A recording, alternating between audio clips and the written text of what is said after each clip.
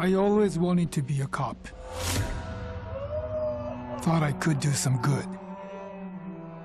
But the scum on the street kept destroying lives. While I was wrapped up in red tape.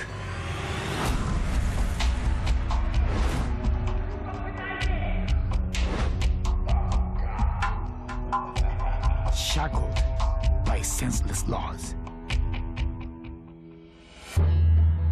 Virus stripped all that away, left us to fend for ourselves.